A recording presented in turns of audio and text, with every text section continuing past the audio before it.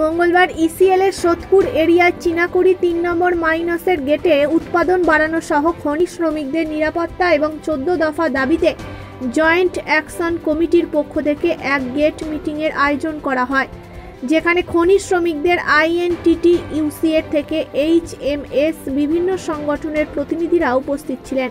শ্রমিক সংগঠনগুলির পক্ষ থেকে দাবি করা হয়, খনি কর্তৃপক্ষ শ্রমিকদের যার পরনাই শোষণ শুরু করেছে। আট ঘণ্টা ডিউটির জায়গায় প্রত্যেকে দশ থেকে বারো ঘণ্টা ডিউটি করতে হচ্ছে। পাশাপাশি বিগত পাঁচ থেকে ছয় বছর ধরে শ্রমিকদের প্রমোশনের ব্যবস্থা নেই। শ্রমিকদের নিরাপত্তার বিষয়টিও অবহেলিত। খনি শ্রমিকদের স্বাস্থ্য পরীক্ষার যথাযথ ব্যবস্থা নেই। বিশুদ্ধ পানীয় জলের ব্যবস্থা নেই। সামনেই বর্ষা আসতে চলেছে। খনিতে জল ঢুকে যাওয়া রোধে পর্যাপ্ত ব্যবস্থা নেই। এই সমস্ত দাবিগুলি গেট মিটিংয়ে তুলে ধরা হয়।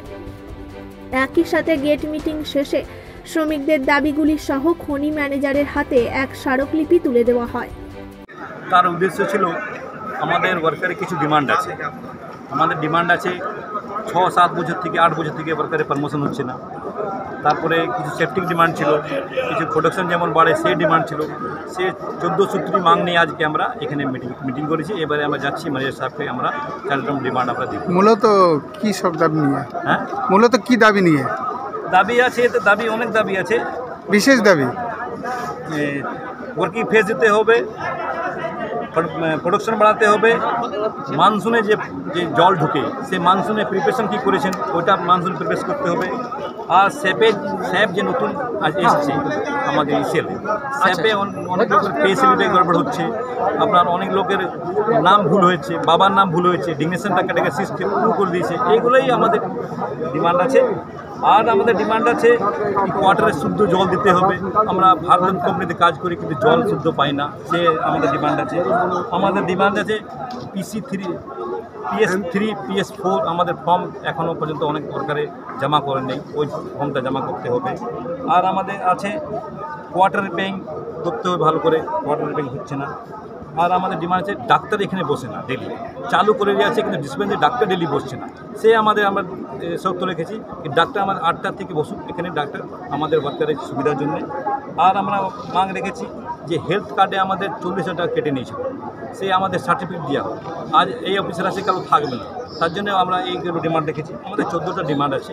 এই ডিমান্ড নিয়ে আমরা আজকে এসিএল কর্তৃপক্ষ যদি আপনাদের ডিমান্ড না শোনে কি করবেন? না না না শুনলে তো আন্দোলন যাব আন্দোলন যাব। ডেমনস্ট্রেশন দিব এঙ্গেজটাকে যাব।